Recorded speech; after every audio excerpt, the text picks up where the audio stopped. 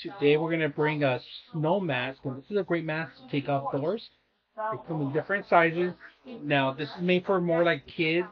It's great for snow. So we're gonna take a look at it and see how it looks. When you get the mask, it comes with the face shield. It has a actual uh, uh, to tie it down and make it a little tighter. So this is pi- perfect for kids and maybe teenagers. All right. So here we are. We're gonna set it up. And when you want to tighten it, you pull the string and then it closes in on you. So Now, if you want not to use the actual face shield, you can always bring it down underneath your neck. And also use it just a regular beanie. That's pretty much what you can do. And like I said, optional to have them face shield. So I hope you guys enjoy the video. Jacket. going.